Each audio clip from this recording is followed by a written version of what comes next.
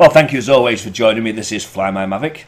Uh, Carl Donald, a good mate of mine, uh, told me about this, the virtual Litchi mission. And what you can do is you can import your Litchi mission into Google Earth and it actually flies the mission uh, as if you're looking from the quad, which means you can include points of interest, uh, interplate functions, etc. etc.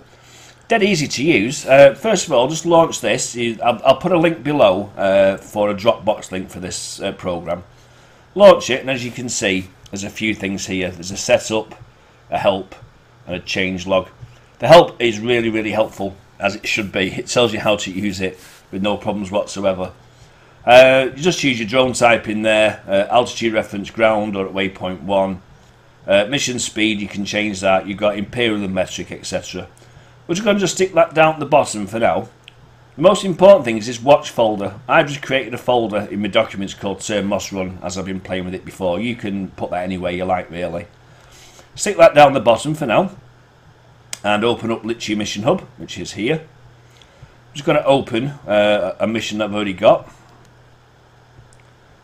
Let's have a look. Uh, we'll go for we'll go for one I've done today. So uh, open that up. Give it a moment to load up like so. Then go back to the word mission and you've got an export as CSV. Okay, click on that. It'll say, do you want to save? Yeah, I want to save it. Once it's downloaded, open the folder. It goes, mine goes to downloads, I'm not sure where yours would go. Do a control and X just to cut that out of there.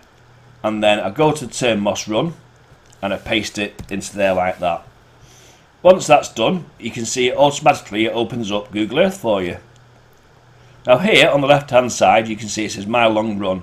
Click the little arrow next to it and then just scroll down a touch. You now have virtual mission and diagnostics. Click on virtual mission and double tap it. And there you go. It's going to fly the mission for you. And this is what I've done at uh, Sir Moss. I've actually have got the video footage for this. What I'll do is I'll just you can drag the bar across from here and you can just quickly scroll through the mission. And it's handy uh, just for checking you know POIs etc etc and where it's all uh, where your camera's going to point. And as you can see here this is the the backside of uh, Turn Moss in Stretford. Simple as that it's dead easy. It's it, it took me about 30 seconds to work it out. I was trying to download a CSV from AirData but you don't you want to download it like I said, from clicking on the missions there and export as a CSV. So create the mission first of all, as you would do, and then just save it and then export it as a CSV. And then in Google Earth, as you can see, it plays. Now, I've not done anything fancy with the camera work on this one, but it does give me a good idea of what the camera will look like as it flies around. I think it's great. It's literally a, a 30 seconds to set up and you could be checking your mission, seeing how it looks, you know, in relation to. Because it is difficult with Litchi when you plan a mission. You know, is the camera going to point to the right position? Is is it going to be accurate? You know, and this this does it all for you.